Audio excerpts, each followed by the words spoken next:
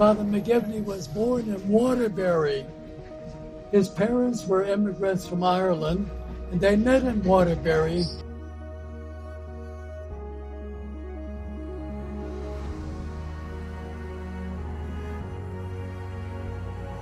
All supporting down there.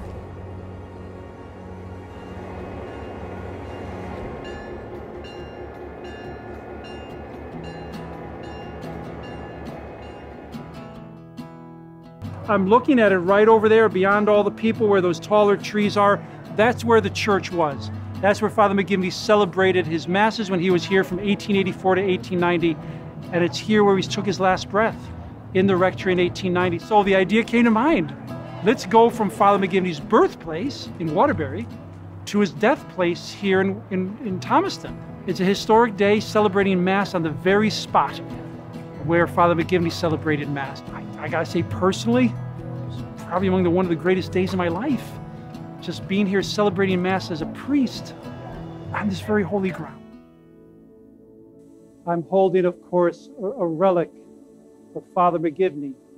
It would be the first time that his body has been in this place since 1890.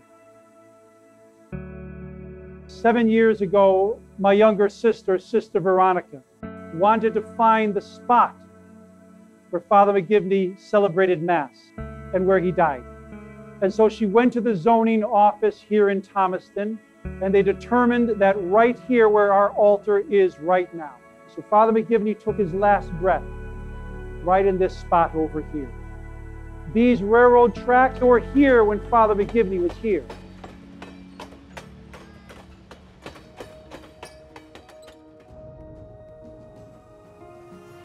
It's just so fantastic what it means to Thomaston that one of our you know, pastors would become a saint. I mean, that is a tremendous opportunity for that. We're just so happy and pleased.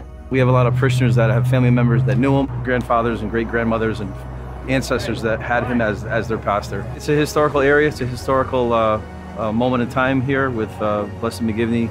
You know, being blessed in our lifetime, how, how great is that? And then what a privilege to be serving in the territory that he served and passed away.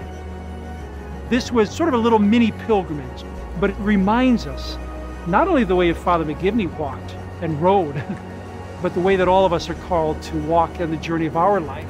And ultimately, that's the way to Jesus Christ. And that's what today was all about. And I have the privilege to preach here today. I'm almost in tears. Preaching on the very spot where he preached. Father McGivney took these tracks. But more importantly than anything else, he showed us the way, the road that leads to our Savior, Jesus Christ.